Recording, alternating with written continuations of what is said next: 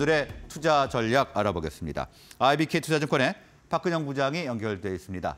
박근영 부장 나와 계십니까? 네, 안녕하세요. 네, 안녕하십니까. 자, 오늘 어떤 이슈 주목하고 계십니까? 예, 최근에 주가가 좀 많이 빠졌었다가 다시 한번 주목을 받고 있는 것은 역시 엔터 기업들입니다. 3분기에 뭐 기존의 아티스트들의 공백이 있었던 시기이고 4분기부터 본격적인 아티스트들의 컴백이 이루어지고 있고 신규 그룹들이 이제 본격적으로 내년 상반기까지 상당히 많이 이제 새롭게 아마 소개가 될 것 같습니다. 전체적으로 연이은 초동 기록 경신이라든지 그다음에 미국 침투 확대로 성장성이 부각되면서 굉장히 주가가 양호하게 나타날 가능성이 있다고 볼 수 있겠고요. 24년 엔터 기업들의 미디어 업종을 관통하는 공통 키워드는 역시 미국 침투입니다. JYP나 하이브 등등 지금 현지화 전략을 구사하고 있고 새롭게 나오는 현지화 전략 관련된 그룹들이 어떻게 성장을 하고 성공을 하느냐 여부가 추가적인 multiple을 올릴 수 있는 부분인데요. 어, 미국 내 인기는 글로벌로 전이되는 파급력이 존재하기 때문에 엔터사 같은 경우는 음원, 음반, 공연 모든 분야에서 미국 비중이 증가 중이고 미국 타겟으로 설계한 신인 IP 런칭을 대부분 하고 있는 상황입니다. 여기에 따라서 뭐 소비력이 높은 미국 침투 확대는 상당히 중요한 이슈로 볼 수 있겠고 회사별 두 세 개 정도 팀의 신인 IP 데뷔로 인해서 내년도 견조한 성장세가 이루어질 가능성이 높습니다.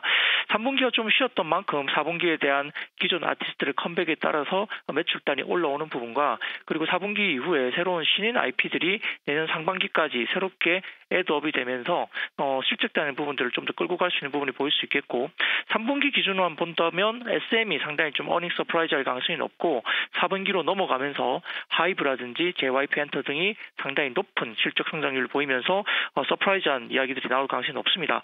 특히 이제 4분기로 넘어가면 하이브 같은 경우 도 마찬가지고요. 뭐 JYP 엔터 등이 분기 단위로서는 아마 사상 최대도 한번 노려볼 만한 분기 실적이 나올 수 있다는 가능성이 있기 때문에 주가가 최근 빠진 이후에 다시 한번 시장에서 upside를 가지고 rebounding 할 가능성이 높다고 볼 수 있겠고요.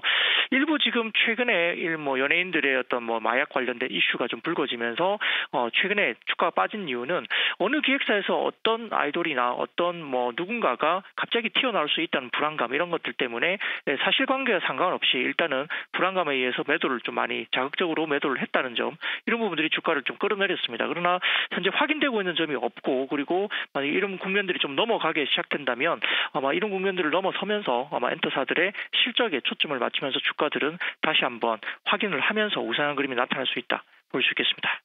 네, 성장성이 부각되고 있는 엔터주 주목할 필요가 있다 말씀을 주셨고요. 아, 관련해서 종목도 알아보겠습니다. 네, 역시 말씀드렸던 3분기 실적과 관련된 부분들은 SM이 상당히 좋을 걸로 보이고요. 그다음에 4분기로 넘어가면 역시 JYP 쪽이 좋을 것 같습니다.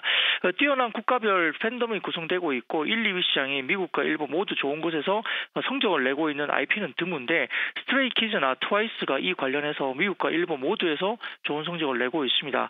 스트레이키즈나 트와이스의 최근 가장 앨범 미국 1주차 판매량은 각각 23만 장과 14만 정도 수준으로 BTS나 블랙핑크와 유사하지만 오히려 상회하는 수준도 보이고 있는 모습입니다.